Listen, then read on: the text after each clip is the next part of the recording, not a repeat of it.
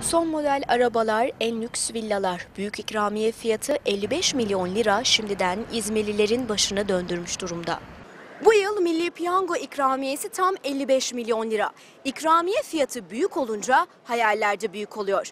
Kimi ev almak istiyor, kimi ise tercihini yurt dışı gezisinden yana kullanıyor. Evet büyük ikramiye 55 milyon lira size çıkarsa ne yapacaksınız?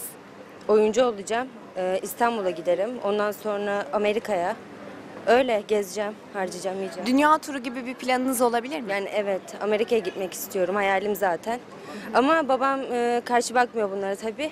Bir şeyler yapmam lazım yani. Peki ev, araba alır mısınız? yani tabii ki bir sürü. Öyle.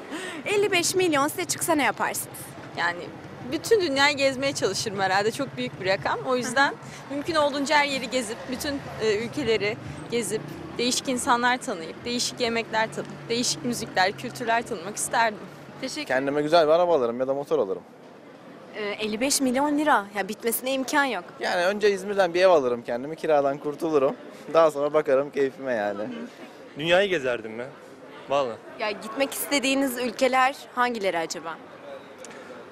Hepsini giderdim. Özellikle yani doğuya giderdim ben çok. Doğuyu merak ediyorum. Çin tarafına falan. Birçok hayırsever İzmirli ise çıkan büyük ikramiyeyi hayır kurumlarına bağışlamayı düşünüyor.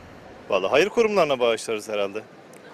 Bir ihtiyacımız yok Allah'a şükür. Büyük ikramiye ile ilgili. İnsanı bozar diye de düşünüyorum biraz. Ben hayır yaparım. Samimi söylüyorum hayır yaparım ben. Yani Tüm parayla fakire mı? fukaraya veririm ya. Tüm paraya değil ya az bir şey kendime alırım. Çoğunu hayır yaparım. Hayallerini gerçeğe dönüştürmek isteyen İzmirliler hal böyle olunca bilet almak için gişelere akın etti. Bilet fiyatları şimdi yok satıyor.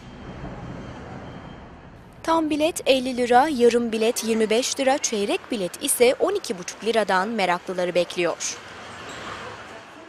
İzmirliler şimdiden hayallerini 55 milyon liranın üzerine kurmuş durumda. Bakalım bu sene talih kuşu kime konacak?